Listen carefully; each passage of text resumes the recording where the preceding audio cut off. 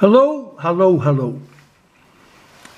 Today for me is Monday, March 7, 2022.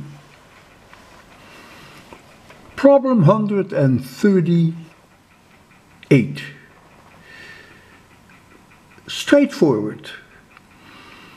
Maybe not high school, but certainly JEE main exam without any doubt.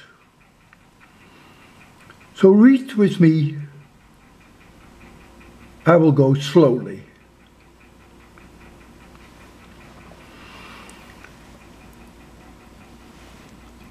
You see here a solid uniform disk of mass m and radius r is oscillating about an axis through P. So here's the disk, radius R, it's oscillating through a point here. The axis is perpendicular to the plane of the disk. Friction at P is negligibly small and can be ignored. The distance from P to the center C of the disk is b, small b. See the figure. So this distance is b. The gravitational acceleration is g. Okay. Now the questions. First question. When the displacement angle is theta, you see theta here, what then is the torque relative to point P? That's question one. Question two, what is the moment of inertia of rotation about the axis through point P? Question three, the torque causes an angular acceleration about the axis through point P.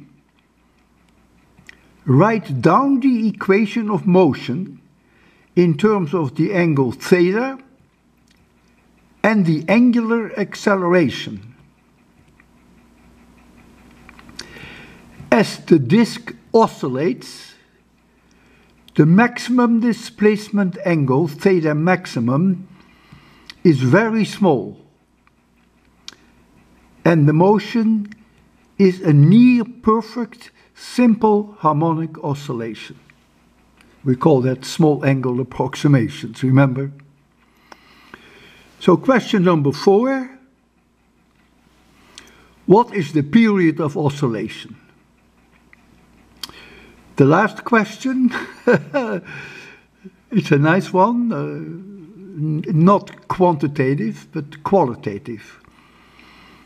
As the disk oscillates, is there any force that the axis at P exerts on the disk? Explain your answer. All right, definitely not a high school problem now that I read it again. Definitely not. Definitely, absolutely, definitely a JEE main problem. And if it were on a JEE advanced exam, this would be considered an easy problem. All right? Try it. Very straightforward physics, very elementary. First year college physics, I would say.